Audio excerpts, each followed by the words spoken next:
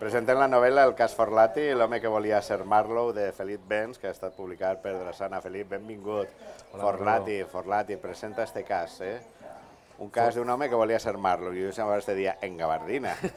I tant que en gabardina. A més, Forlati és un cas, eh, l'home, Sí, la veritat, sí. és un cas. Pues sí, eh, eh, la intenció era fer un, una espècie de paròdia del gènere policiac i un poc també de, de màfia, que bueno, pues és un gènere que jo crec que mm, a tota la gent amb inquietuds literàries en algun moment de les nostres vides mos ha colpit i ha sigut, i ha sigut important com a influència, com a bagatge, com a, com a experiència i com a tot.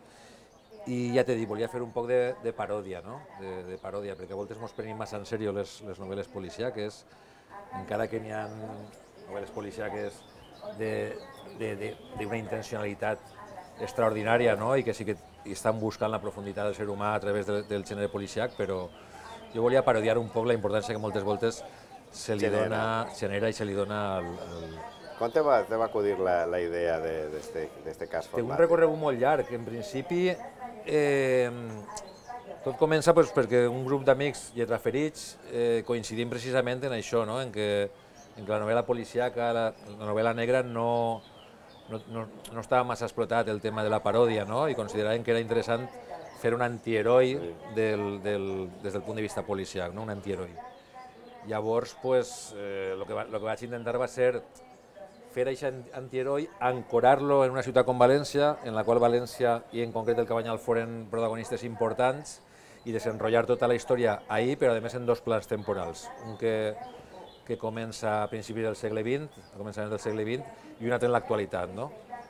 I en paral·lel el lector va descobrint la vida dels protagonistes i els orígens familiars dels propis protagonistes. I aquestes dues històries van confluint a nivell temporal i també en l'espai. No hauràs fet del Cabanyal Corleone? Pues alguna cosa aixina, sí.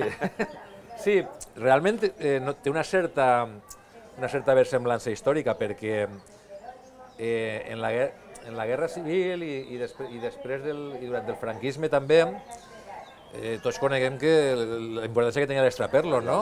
I moltes voltes eren, eren els peixcaoses que per a treure's un sobresou eren els que transportaven mercaderia per a, Sí, sí, per ho contava Blas. Ibáñez, Sí, sí, sí, no, sí, sí, evidentment, això ha passat sempre, no? La mà sempre ha sigut un camí per el qual fer este tipus de, este tipus de coses. I en aquest sentit, pues, sí, pues, pues, eh, clar, hi ha gent que va, que va créixer econòmica, econòmica, econòmicament molt al socaire de tot això, i aquesta història parla d'això també, no? de, de gent que, que en els albors de la Guerra Civil pues, pues va, va aconseguir fer negoci, no? Com t'arribaren els personatges? Perquè l'escenari el tenies clar. Sí. Com no, el Cabanyal no podia ser un altre... Però com t'arribaren els Sí, personatges? el, eh, la, la idea de que el protagonista fuera una persona un poc externa a este escenari, jo crec que li donava força a la narració, no? O sigui, eh, Larry Forlati s'ha criat en, en Londres, no coneix res de la seva família, sap que, té una fa sap que té família en el Cabanyal i en València, però no sap res d'ells pràcticament, no s'ha vist mai, se'n va anar quan tenia, quan tenia mesos, i, i res, i al tornar eh, és també la visió de Larry Forlati de com ha canviat el Cabanyal, de com ha canviat València, del que, de lo que ell recordava, bueno, no recordava pràcticament res, però de lo que li havien contat seus pares, eh, de com era el Cabanyal, etc etc. I d'alguna manera me, me venia molt bé que el protagonista vinguera com, com, com, com aterrar en aquest espai des d'un altre lloc completament distint, no? Eren uns conceptes de la vida completament distints també, no? I en eixe, i en eixe, en eixa faceta qui- quixotesca, no? De, de, del tio que està llegint a Dashiell Hammett, a, a Chandler i de més, i que, i que el somni de la seva vida ha sigut ser detectiu, i que aprofitant d'unes circumstàncies familiars decidixes sí. començar aquesta trajectòria així en, en, en el Cabanyal. No? I també denúncia, València. i també denúncia implícita. I... Sí, sí, sempre n'hi ha denúncia implícita, no? En la literatura eh, els escriptors veguem de la, de la realitat, no? I per tant eh, també tractem de d'alguna forma de denunciar aquelles coses que no ens agraden, no? I en el cas este, pues, evidentment, sí que se reivindica molt i se, i se, i se transmet a través de la novel·la el que era el Cabanyal com a poble, l'esplendor que tingué en un moment donat i la degradació i la degeneració posterior. No? Això també està en la novel·la. Està en la novel·la. Com ha estat el procés d'escriptura? Va ser molt complicat perquè, bueno, va ser molt complicat perquè se va allargar al llarg de molts anys, no? perquè jo em dediqué professionalment a, a, unes, a unes altres llavors, unes altres tasques, i, i, i trobar-te'ns per a fer una novel·la que té molta elaboració des del punt de vista històric, de la trama, etc etc, del perfil dels personatges, és complicat i no volia fer una, una cosa més, perquè ja tenia algunes coses de ficció publicades, però que havia passat el temps i després un poc se me caien entre les mans precisament per haver-les fet massa pressa, per no haver-les deixat dormir en un calaix, que moltes voltes és important que dormen en un calaix. Esta novel·la sí que la vaig deixar dormir en el calaix, la vaig revisar moltes voltes i, i realment, bueno, té una primera edició de l'any 2002 que, que es va esgotar en seguida. Va ser premiada, Sí, i però va aparèixer en castellà, no? en castellà i en valencià.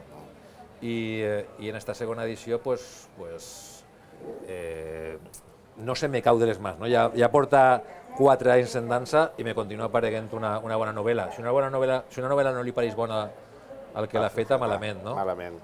I els lectors que diuen? Els? Els lectors en tot aquest periple. Eh, a la gent li agrada molt. Eh, L'opinió generalista és que segueix molt ràpid, que enganxa i que, i que funciona molt bé a nivell narratiu. Era un poc l'objectiu i quan la vaig parir un poc, jo el que volia era que... O sigui, vaig pensar en una, en una, en una pel·lícula, en realitat, i vaig començar un poc fent com un guió cinematogràfic, perquè considerava que, que volia que tinguera la vivacitat narrativa de, de les grans pel·lícules, no? de policiaques i, i de màfia. No? I en aquest sentit, eh, bueno, pues, eh, com, com a objectiu Com a molt bé. Una altra cosa és lo que, lo que Eh, el resultat final. Apareix l'univers Granota, també, imagine. apareix Ai, tangencialment, val? I les cases del Cabanyal, sí, també. les cases del Cabanyal també. L'univers Granota apareix precisament el dia que, el dia que son pare va al registre a inscriure a Larry Forlati, el, els llevantinistes estan celebrant l'ascens del 63 Home, per jo te puc dir, ara te vaig a dir una qüestió. I ese dia jo vaig prendre la comunió, el 2 de juny de 1963. Pues tu me diràs. I me'n recorde perfectament Pues d'aquell ixe di- dia pues ixe quan dia- anaren a la plaça de la Mare de Déu. Pues Ixe dia, Forlati. Sí, senyor. I, Eh, I fins ara. I fins ara, Felip Benz, un plaer parlar de tu, presentar el cas Forlati, l'home que volia ser Marlowe, eh, i portar el Cabanyal així, a la, encara que siga en un cas de ficció i en una novel·la negra, una paròdia de novel·la negra, portar-lo a la Fira del Llibre. Moltes Molt d'èxit i, i se vegem en el Cabanyal. Clar que sí, Manolo, gràcies a tu.